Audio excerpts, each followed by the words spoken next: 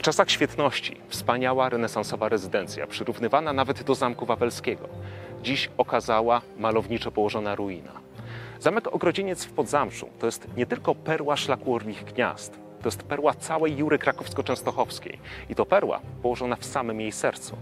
Dostrzegli to i filmowcy. Zamek służył choćby jako tło w ekranizacji Zemsty dokonanej przez Andrzeja Wajdę, czy w wiernym ukazaniu bitwy na wzgórzu Sodden w najnowszej adaptacji Wiedźmina od Netflixa. I właśnie dzisiaj tą wspaniałą warownię zwiedzimy razem.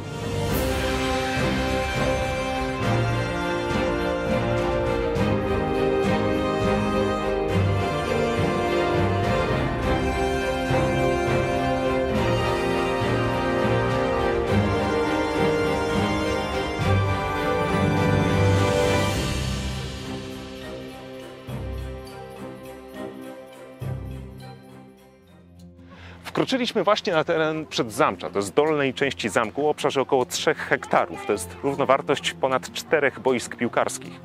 Otoczonej murem, wzdłuż którego jeżeli się przejdziecie, możecie zobaczyć jak doskonale jest on wkomponowany w wapienne skały, jakie się tutaj znajdują, tak zwane ostańce. Przedzamcze pełniło niegdyś funkcje gospodarcze i znajdował się tutaj szereg budynków o tym charakterze. Choćby tutaj troszeczkę nam ławki przeszkadzają, ale możecie zobaczyć fundamenty dawnych stajni oraz wozowni. A tam dalej, hen przed nami, znajdowały się bodaj najważniejsze budynki w zamku, to jest browar i gorzelnia. Dzisiaj jest to miejsce wielu imprez, choćby w sezonie letnim przed zamcze zalewają namioty oraz na, na zamek przybywają wikingowie. Jeszcze jedna rzecz, o której trzeba wspomnieć na początku zwiedzania. Otóż zamek Ogrodzieniec czy zamek w Ogrodzieńcu.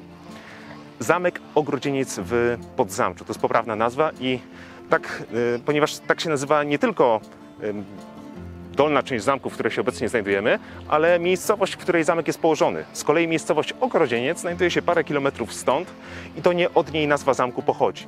Nazwa zamku wywodzi się od y, po prostu tego, że niegdyś znajdował się tutaj gród drewniany, jeszcze w, zanim powstał tutaj gotycki zamek, który był ogrodzony, ogrodzieniec ogrodzony, obwarowany. Bardzo często przy przechadzaniu się po zamkach spotykamy się z taką sytuacją, że ich zwiedzanie rozpoczynamy od młodszych części, stopniowo zbliżając się do tych najstarszych. Do pewnego stopnia jest także i tutaj.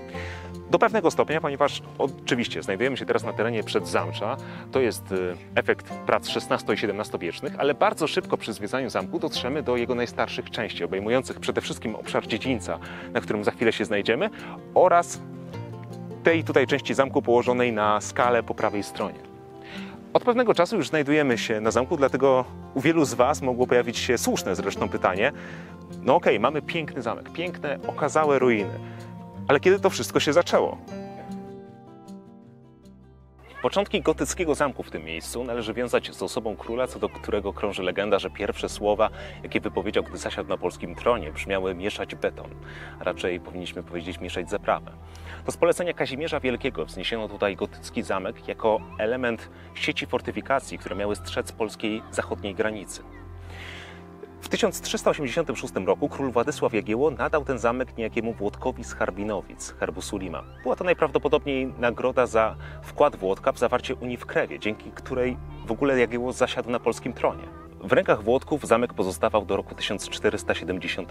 Wówczas został przez nich sprzedany, przechodził z rąk do rąk, aż w końcu w 1523 roku stał się własnością niejakiego Jana Bonera. Człowieka będącego już u schyłku swojego życia, za to życia pełnego sukcesów. Pochodził z niemieckiego mieszczaństwa. Do Krakowa przybył w roku 1483 i zrobił tu oszałamiającą karierę. Dorobił się niebotycznych pieniędzy, m.in. na wytwórstwie i sprzedaży papieru oraz na pożyczaniu pieniędzy. Jego pożyczkobiorcami byli choćby trzej polscy królowie. Jednak to nie Bonner, nie, nie Jan Bonner w każdym razie, był kluczową postacią dla historii zamku, a jego dziedzic i zarazem bratanek Seweryn Bonner oraz syn Seweryna Stanisław. To oni dokonali potężnej przebudowy zamku w XVI wieku, dzięki czemu stał się on okazałą, wspaniałą renesansową rezydencją.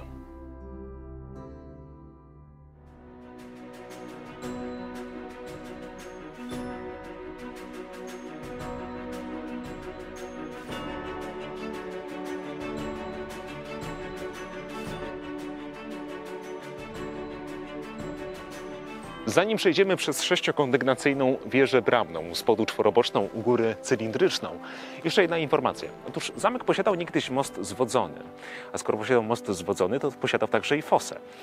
Tyle, że była to fosa sucha. Woda tędy nigdy nie płynęła. No, umówmy się, jesteśmy na wysokości około 500 metrów nad poziomem morza. To nie jest zamek nizinny.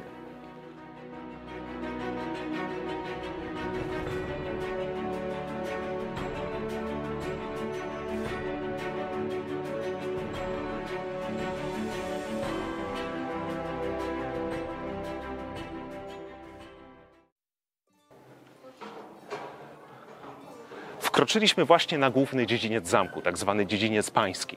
Niech was nie zmylą atakujące nas tutaj zewsząd surowe kamienie i skały. Mogą one wam sugerować, że miał on wcześniej charakter średniowieczny, gotycki. Otóż nie.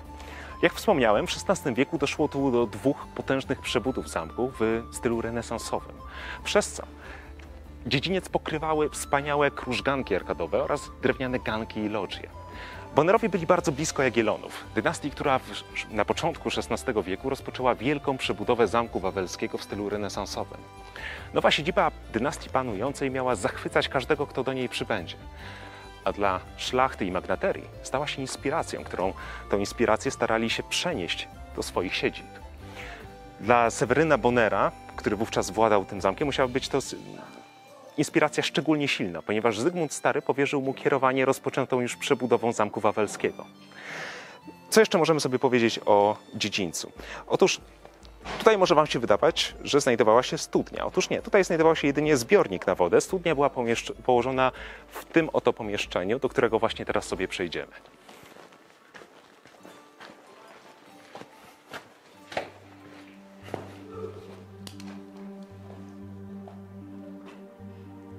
Studnia to jest kluczowy, to jest fundamentalny element dla zamku. W przypadku oblężenia bez pożywienia jesteśmy w stanie wytrzymać może miesiąc, może dwa. W najbardziej rozpaczliwej sytuacji będziemy spożywać konie i wszystkie zwierzęta, jakie znajdują się na zamku. Z kolei bez wody może tydzień i to raczej nie w sytuacji, gdy będziemy musieli wypacać się na odpieraniu szturmów. Dlatego, gdy Seweryn Bonner rozpoczął przebudowę zamku, nic dziwnego, że zdecydował się na podjęcie wysiłku wydrążenia studni w skale. Dodatkowo została ona umieszczona właśnie w pomieszczeniu, w którym się znajdujemy, zadaszonym. To, to pomieszczenie musiało być strzeżone, chronione zarówno przed tym, żeby cokolwiek tutaj wpadło przypadkiem, albo też zostało umieszczone w wyniku dywersji. Jeżeli ta woda zostałaby zatruta, jesteśmy zgubieni. Opowiedzieliśmy nieco o Bonerach, ale teraz odwiedźmy Włodków i przejdźmy do najstarszej części zamku.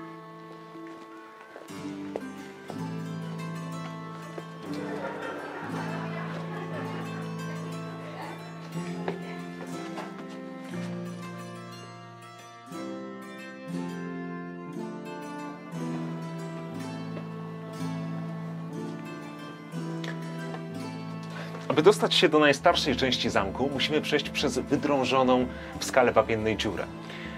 Wbrew pozorom nie jest to relikt dawnych czasów. Ona została wydrążona tutaj przez górników w latach 70. XX wieku. Po to, aby w ramach ruchu turystycznego można było łatwo dostać się do najstarszej części zamku. Tutaj możecie dostrzec w wielu miejscach otwory. To są y, otwory po wiertłach górniczych, zostawione tutaj jako świadectwo tego, że jest to dzieło współczesne. Przejdźmy dalej.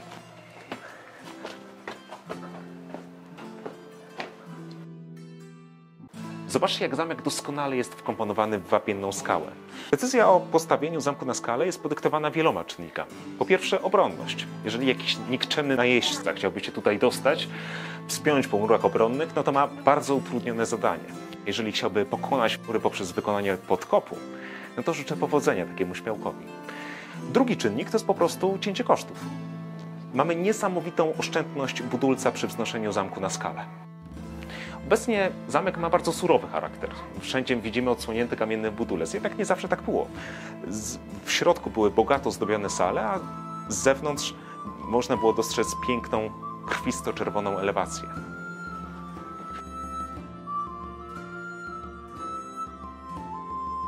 Ostatecznie historia nie obeszła się z zamkiem łaskawie. Wpadł on w ruinę i dopiero po II wojnie światowej podjęto prace konserwatorskie. W ramach nich uzupełniono wiele fragmentów muru. Jednak gdybyście dostali pytanie, które fragmenty są oryginalne, a które są wynikiem dwudziestowiecznych uzupełnień, mielibyście nie lada zagadkę. Ponieważ warunki atmosferyczne szybko sprawią, że poszczególne kamienie upodobnią się do siebie. Jednak i o tym pomyślano. Jeżeli przyjrzycie się murowi, to dostrzeżecie, że i to jest nie tylko tutaj, to jest w wielu miejscach zamku, poprowadzoną blachę cynkową. Pod nią są fragmenty oryginalne, a nad nimi są fragmenty będące wynikiem uzupełnień. Żeby dostać się do najstarszej części zamku, pokonaliśmy dosyć sporo schodów, jednak tak naprawdę jesteśmy na poziomie zero. Pod nami jest już tylko skała wapienna. Możecie przez to spostrzec, jak duże są różnice poziomów pomiędzy poszczególnymi partiami zamku. Jeżeli będziecie w ramach zwiedzania zamku znajdziecie się w tym miejscu, to polecam jeszcze podejść tam, rozpościera się piękny widok na podzamcze. Odwiedziliśmy Włodków, wracamy do Bonerów.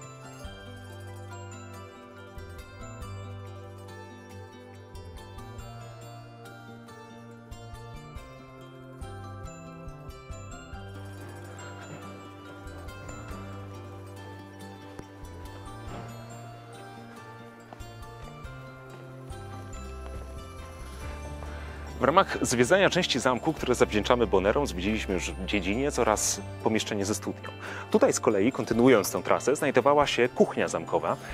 Na samym środku możecie spostrzec fragmenty paleniska, natomiast po prawej stronie jest komin. Tyle, że ten komin to jest dzieło współczesne. On służy znajdującej się pod spodem w dawnych piwnicach zamkowych karczmie rycerskiej. Skąd wydostawał się w takim razie dym z tej kuchni? Dym wydostawał się przez takie oto dziury w murze. No, idziemy dalej.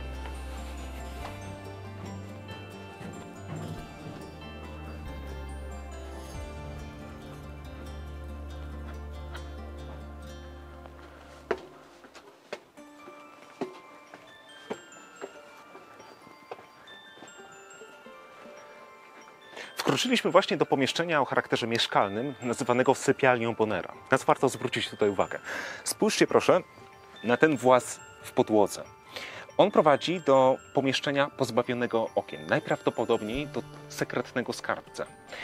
Z pewnością może Wam się rzucić w oczy także ta wnęka w prawym rogu. Tutaj znajdował się tron, ale bynajmniej nie taki, w którym przyjmuje się na audiencji. Przejdźmy dalej.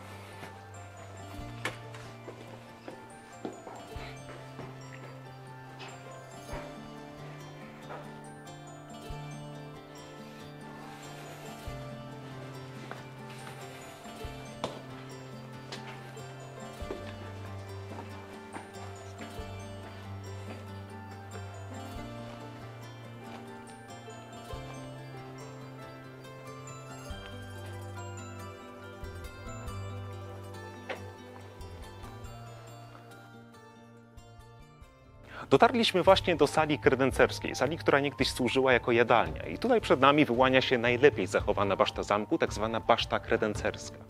Zarazem to jest też jedyna baszta udostępniona na potrzeby ruchu turystycznego. Oczywiście na, za chwilę na nią wejdziemy, aby pokazać Wam piękną, rozpościerającą się stamtąd panoramę. Ale wcześniej zwróćcie uwagę na te wysunięte fragmenty muru wsparte na wspornikach. To są machikuły. Normalnie między każdym z takich wsporników powinny być tam od spodu dziury. Tutaj ich nie ma, więc miały co najwyżej ozdobny charakter. Jednak normalnie machikuły miały znaczenie obronne i jak one, tak, jak one działały w praktyce? Aby Wam to wyjaśnić, podejdźmy sobie tutaj do okna. Na nasze potrzeby dydaktyczne przyjmijmy, że jest to fragment muru obronnego, no i nasz zamek jest oblegany. Przeciwnik właśnie podchodzi pod mur, próbuje podstawić drabinę, próbuje dostać się do zamku. My oczywiście razimy go tylko wszystkim, co mamy. Rzucamy kamienie, strzelamy z łuków, z kurz, z broni palnej, co tylko, co tylko mamy pod ręką. Natomiast tym delikwentom na dole wcale się nie uśmiecha umierać. Dlatego oni przykleją się do tego muru, chroniąc się przed naszym ostrzałem tak mocno, jak tylko mogą. Wówczas co my możemy zrobić? Możemy oczywiście wychylić się za ten mur, ale trudno strzelać z kuszy, trudno strzelać z łuku i z broni palnej także.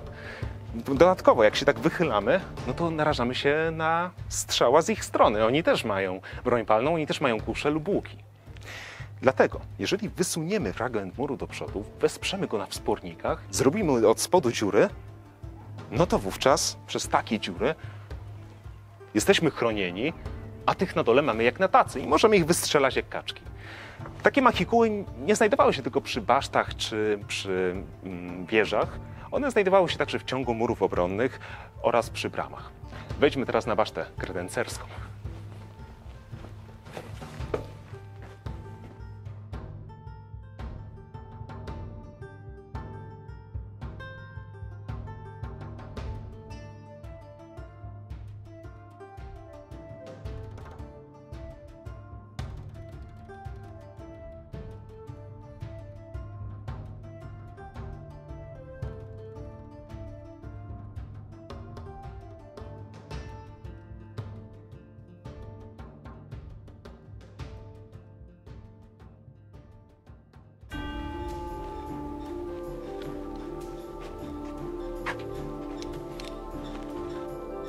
Tutaj dziedziniec gospodarczy, na który za chwilę przejdziemy, a teraz weszliśmy do sal rycerskich.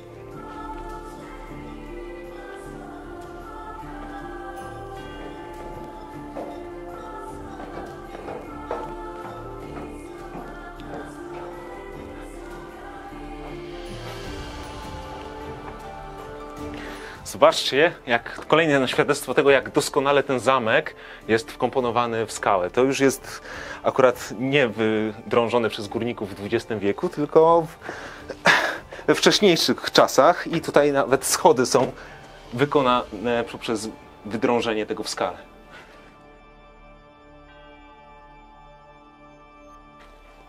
Wkroczyliśmy właśnie do Kurzej Stopy. To był podłużny pawilon, który został wzniesiony tutaj przez Stanisława Bonera, syna Seweryna Bonera, podczas właśnie drugiej przebudowy renesansowej w XVI wieku. Ten budynek, ten pawilon miał pięć kondygnacji, trzy dolne zajmowały pomieszczenia przystosowane do obrony, pełne otworów strzelniczych, natomiast czwarta kondygnacja to było pomieszczenie dla białogów, piąta sala balowa i umywalnia. Na wyższe kondygnacje siłą rzeczy nie wejdziemy, natomiast dolne można zwiedzić i właśnie do nich teraz przejdziemy, bo jest tam parę ciekawych rzeczy.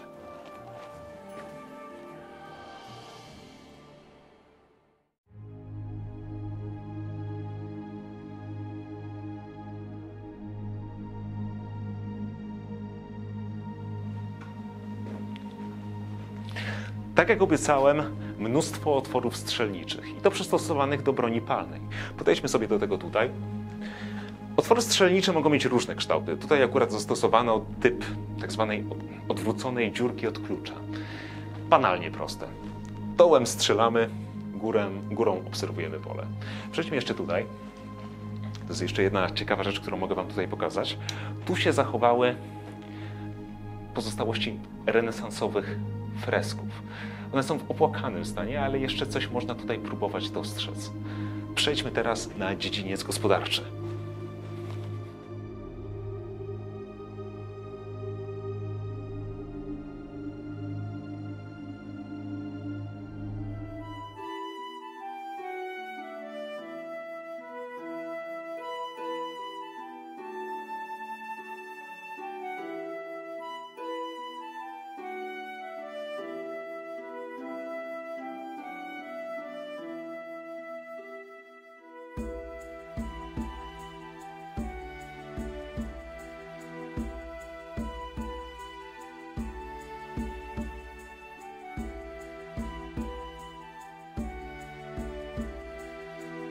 A zatem weszliśmy na górę po zrekonstruowanym drewnianym ganku bojowym, umożliwiającym w razie potrzeby skuteczne prowadzenie ognia. E, On został zrekonstruowany nie w tym samym miejscu, co pierwotnie tutaj stojący. Możecie zobaczyć wnęki, e, jak to dawniej wyglądało. Natomiast tutaj, jak zbliżymy się do okna, to zobaczycie takie otwory. To są otwory po niegdyś znajdujących się w tych oknach kratach. E, No i jeszcze jedna rzecz. Wspomniana wcześniej blacha cynkowa znajduje się także i tutaj. Przejdźmy teraz do beluardu.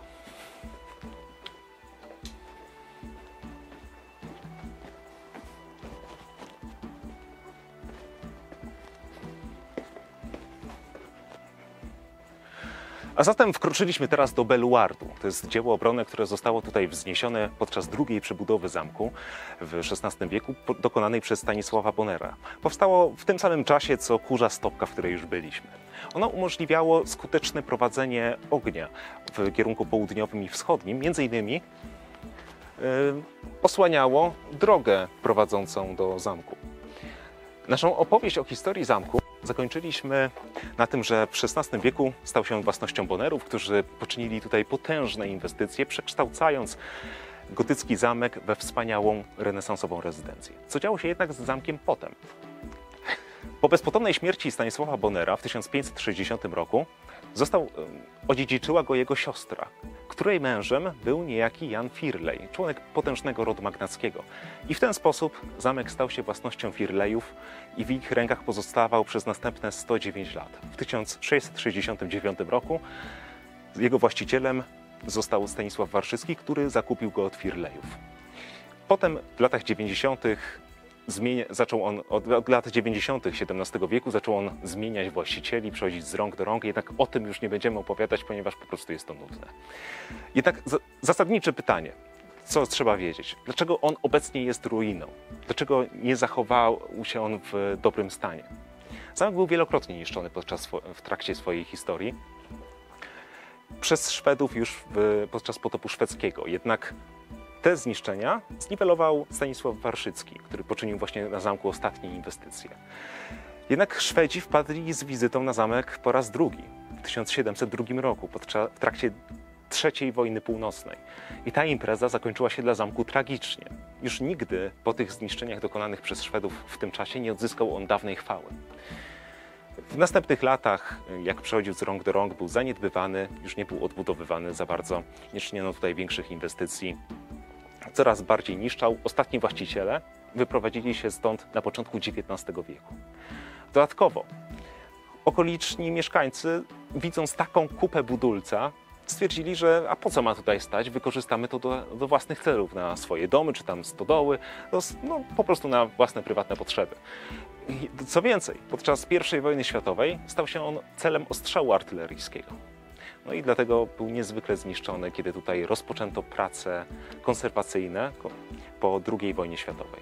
W 1974 roku został on z kolei udostępniony do ruchu turystycznego. Przejdźmy teraz dalej. Tutaj przed nami wyłania się wieża skazańców. No i kolejne schody wydrążone w skale.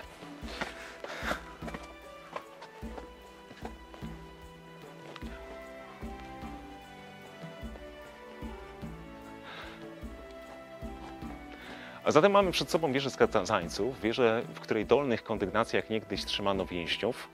Ona jeszcze pochodzi z czasów e, średniowiecznych, z czas, z, ma cechy gotyckie. Przejdźmy teraz dalej. Została nam prochownia oraz skarbiec, których nazwy mówią same za siebie.